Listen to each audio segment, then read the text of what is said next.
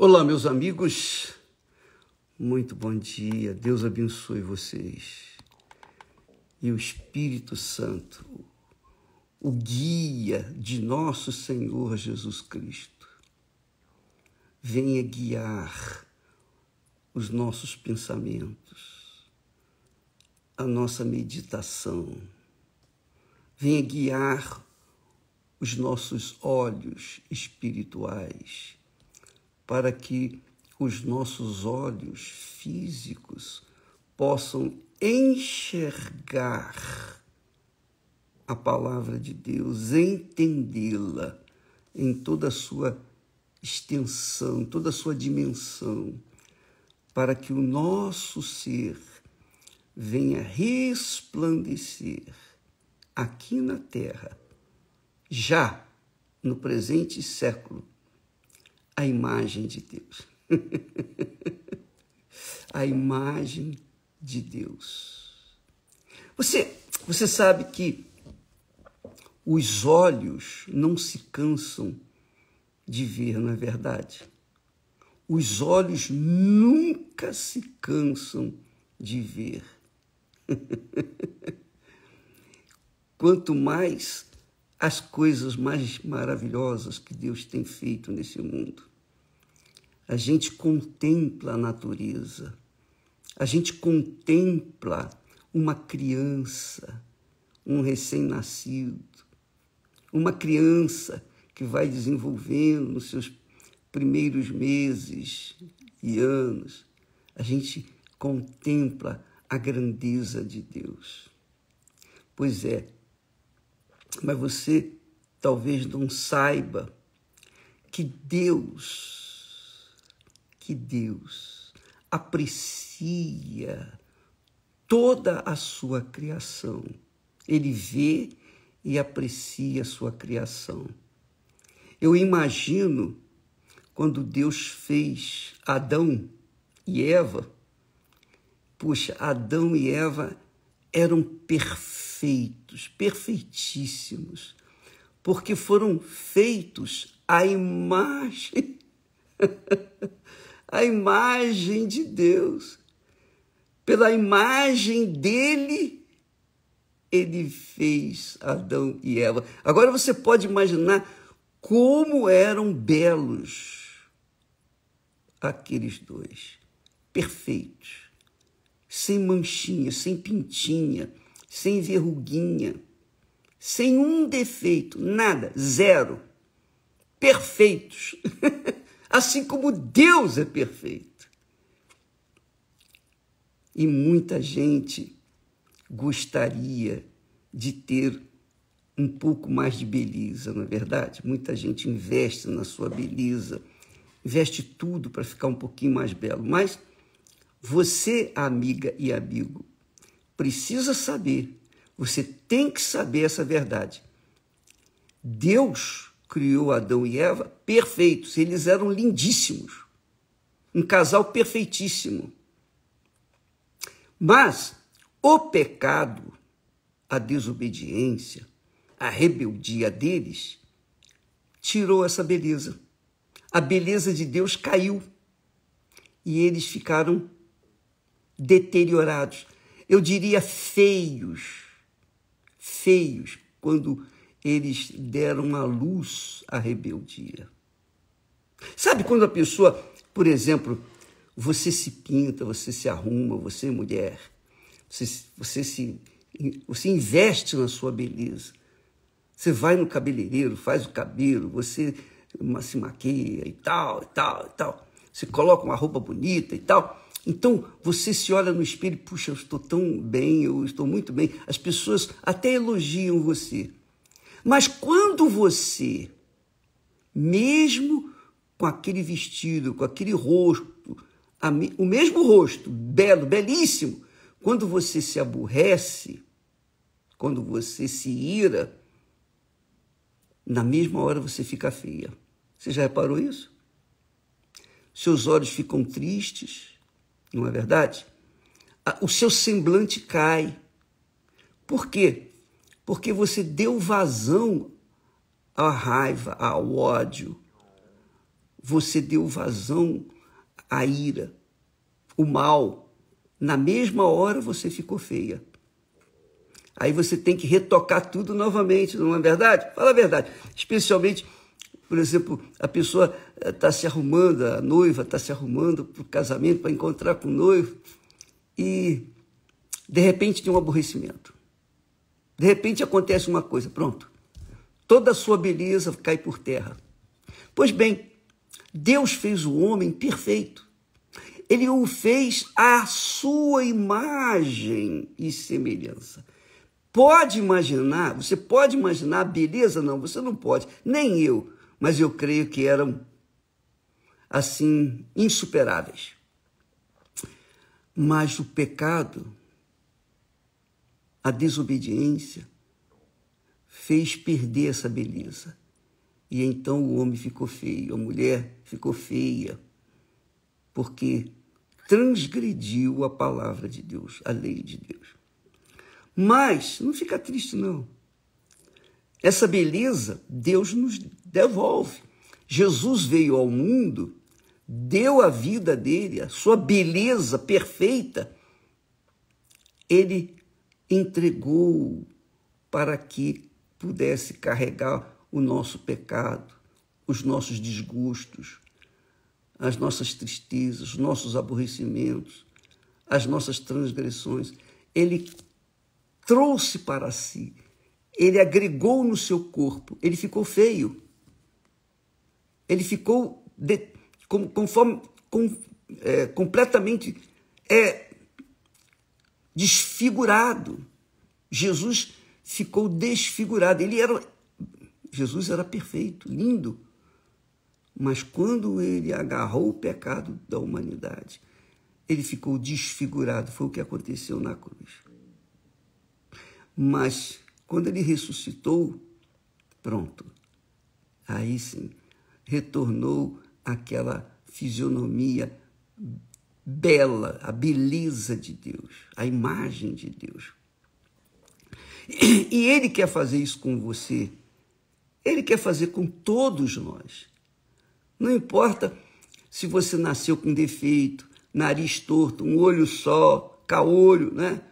Se você nasceu cego, se você, é, enfim, se você nasceu, nasceu do jeito que você nasceu, tá aí, você tá aí. Não importa como você nasceu, se é feio, bonito, não importa. Mas quando você recebe o Espírito Santo, que é o espírito da alegria, que é o espírito da paz, primeiro da paz, depois da alegria. Aí volta a imagem, a primeira imagem de Adão e Eva. Porque a imagem de Deus faz passar para você a imagem de uma pessoa divina. Essa imagem divina você exterioriza sem precisar o toque da mão humana naturalmente você fica linda, lindo. Naturalmente. Porque a imagem de Deus faz você refletir em você. Quando a pessoa nasce do Espírito Santo, da água e do Espírito Santo, ela é espírito, ela é espiritual. Então, ela agarra a imagem de Deus. E é notória essa imagem. Nós vamos falar a respeito disso durante esse tempo, talvez amanhã. Mas o bacana é que Deus preza pela beleza. Você sabia disso? Você sabia que Deus tem um gosto apuradíssimo, perfeito? Veja só, quando Deus, quando o povo de Israel pediu um rei queria ter um rei igualzinho os outros povos. E Deus ficou triste, porque quem o dirigia era o próprio Deus através dos profetas. Mas o povo queria um rei. Tá bom, você quer um rei? Deus foi buscar um rei para Israel. Adivinha que tipo de rei que Deus buscou para Israel, para representá-lo como rei de Israel? Adivinha como? Aqui está escrito na Bíblia que Saul, Saul, homem jovem, diz que ele era tão belo que entre os filhos de Israel não havia outro homem mais belo do que ele. Você já imaginou? Saul era um homem bonito, mas bonito mesmo. Era um homem, eu diria, invejável, assim, na sua estrutura. Diz o texto, dá até um detalhezinho aqui. Diz que desde os ombros para cima sobressaía a todo o povo. Quer dizer, ninguém havia em Israel, naqueles dias, tão belo quanto Saul. Por que, que Deus escolheu a beleza? Por que, escolheu esse homem belo? Porque Deus queria ser representado no rei de Israel. Deus queria ser representado por um homem que tivesse pelo menos traços da sua beleza, da sua imagem. Então ele escolheu uma, uma pessoa bonita, belo, bela. Você sabia disso? Ah, muita coisa você não sabe, mas você vai saber quando você ler a Bíblia. Leia a Bíblia que você vai, você vai encontrar maravilhas, riquezas incalculáveis que, vai, que vão ajudá-lo, ajudá-la a pensar de acordo com Deus. É isso mesmo. Lá em 1 Samuel, capítulo 9, versículo 2, fala sobre isso. Que Saul era um homem jovem, moço, e tão belo que entre os filhos de Israel, em todo o povo de Israel, não havia ninguém igual a ele. Bem, mas não é isso que eu vim aqui falar, da beleza de Saul. Eu só quero que você tenha noção de como Deus pensa a respeito de cada um de nós. Quando Jesus prometeu o Espírito Santo, ele, o Espírito Santo, nos guiaria em toda a verdade. Mas não só isso, não só nos guia, guiaria, mas faria de nós uma fonte. Uma fonte de rios vivos, de águas vivas. Você já viu uma fonte? É linda. Jorra aquela água, é purinha, purinha, limpinha, limpinha. Chova, faça sol, não importa. A fonte está sempre, sempre jorrando água limpa, pura das profundezas da terra. Pois bem, Deus, quando nos dá o Espírito Santo, ele nos dá o espírito da beleza. E quando a pessoa recebe o Espírito Santo, ela tem uma beleza inimaginável, uma beleza espiritual, uma beleza divina. Porque o Espírito de Deus se apossa dela.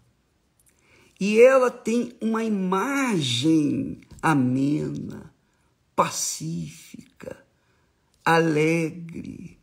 O semblante da pessoa que tem o Espírito Santo é um semblante divino. Não precisa nem falar. A sua fisionomia já passa a presença de Deus. Isso tem que acontecer com todos os que recebem o Espírito Santo. Você, quando recebeu o Espírito Santo, não é pela beleza física que você vai ter, mas uma vez que você é uma cidadã do reino dos céus. Então, os cidadãos do reino dos céus têm que ter uma expressão divina aqui na terra podre. Essa terra imunda, mas os filhos de Deus resplandecem. Os filhos de Deus exalam o perfume de Jesus. Os filhos de Deus carregam a imagem de Deus, porque são filhos de Deus.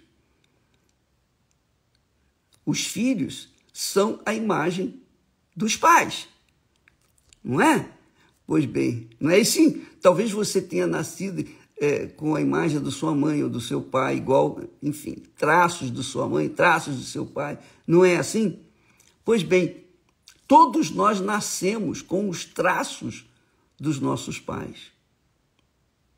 Imagine o filho de Deus, uma filha de Deus. é muito forte isso. É glorioso demais.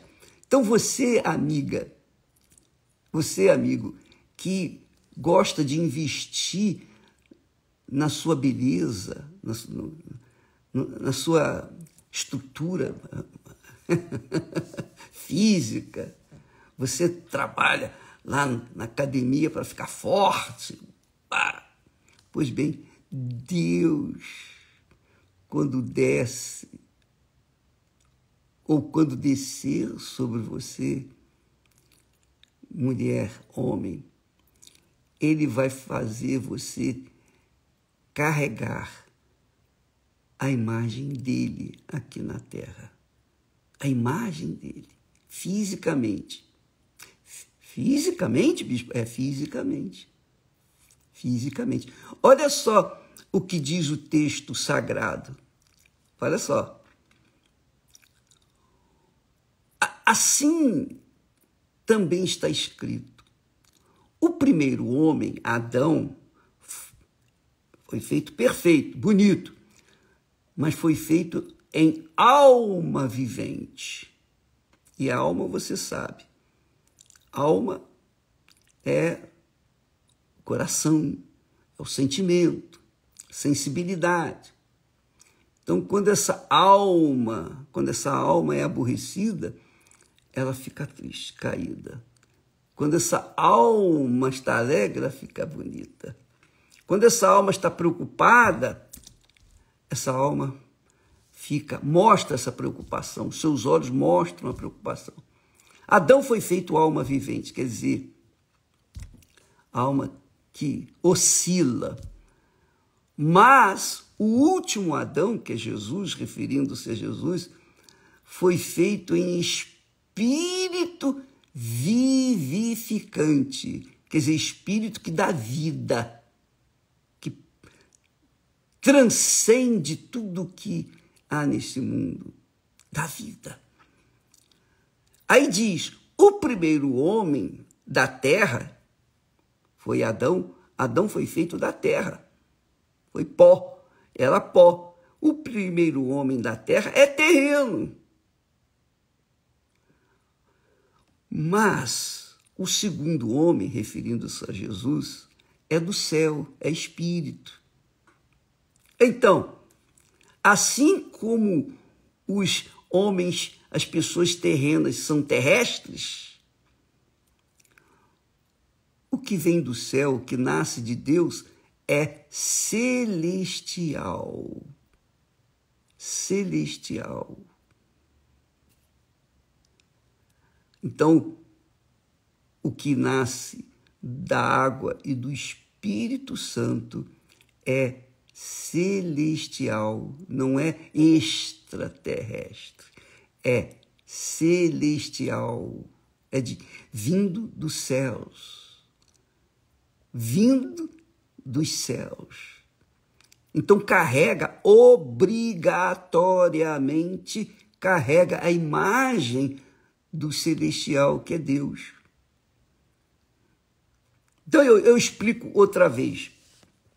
Quando uma pessoa recebe o Espírito Santo, batismo com o Espírito Santo, ela recebe o Espírito de Deus, o Espírito da paz. Esse Espírito de paz e da paz faz naturalmente haver alegria. Porque todo ser humano, toda alma, todo ser humano quer paz. Todo ser humano trabalha para ter paz. Luta pela paz. A paz interior. Não pela paz no mundo, mas pela paz interior. Paz íntima. Quando ela recebe, quando ele recebe essa paz de Deus, que é o do Espírito de Deus, o Espírito Santo é o Espírito da paz. Então, quando ele recebe o Espírito da paz, imediatamente há um gozo na sua alma, um prazer, uma alegria indescritível. E quando isso acontece, então a pessoa é feliz. Ela é feliz dentro de si. E ela estampa essa felicidade. Claro, quando a pessoa está feliz, ela estampa a felicidade. A pessoa, por exemplo, a, por exemplo, ganhou na loteria, ela vai gritar, pular de alegria, não é assim? Pois bem, quando a pessoa perde tudo na vida, ela vai ficar triste, vai ficar abatida, caída. O semblante muda. Então, o ser humano, o ser humano ou carrega a imagem do que é terrestre, da tristeza, da angústia, da dor, ou carrega a imagem do que é celestial. Qual é a diferença entre um e outro? O Espírito Santo. O Espírito Santo é o Espírito de Jesus. Ele dá força para a gente continuar na fé, mesmo nos momentos difíceis, nas horas amargas, dolorosas.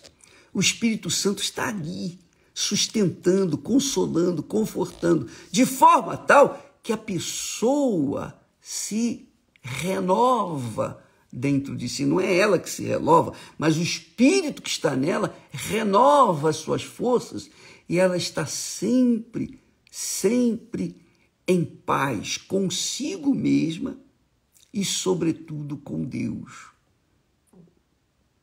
É a imagem de Deus. Você já deve ter notado, você que recebeu o Espírito Santo, você já deve ter notado a pessoa chegar e falar para você assim: olha, Fulano, Fulano, eu não sei, mas você passa tanta, tanta paz, você, você passa assim um ar tão feliz. Eu queria ter essa felicidade. Já, alguém já falou isso com você? Mas também você sabe que se a pessoa não tem o Espírito Santo, a fisionomia dela estampa tristeza, falta de paz, conflitos íntimos, ansiedade, preocupações, nervosismo, não é? Não é mesmo? Então, quando ela tem, carrega isso dentro de si, a fisionomia dela é caída, é prostrada, ela deixou de ter a imagem de Deus para ter a imagem do que é terrestre, do ser humano nascido da carne. Mas quando ela encontra, tem um encontro pessoal com Jesus e ela é lavada dos seus pecados, Jesus faz ela uma nova criatura através do Espírito Santo ela nasce de novo, nasce de novo. Então, ela deixa de ser uma criatura terrena para ser uma criatura celestial. E aí, a fisionomia dela estampa essa alegria, a paz. Ela é alegria, ela é paz, ela é da paz e carrega a paz, porque o Espírito Santo o Espírito da paz agora está nela. Deus quer que os seus filhos venham santificar o seu santo nome aqui na terra, através do seu caráter, através da pessoa ser uma pessoa diferenciada das demais. Ela não vive metida na orgia desse mundo, não. Nas baladas, nas bebedeiras, enfim, na bagunça, na rebelião desse mundo. Não. A pessoa que tem o Espírito de Deus, ela procura o seu ninho, onde todos, todos os que ali estão, têm a presença de Deus. Então, uns curtem os outros com a presença de Deus.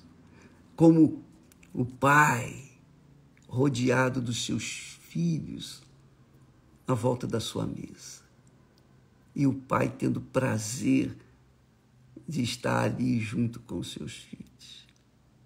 É isso que acontece quando a pessoa nasce do Espírito Santo.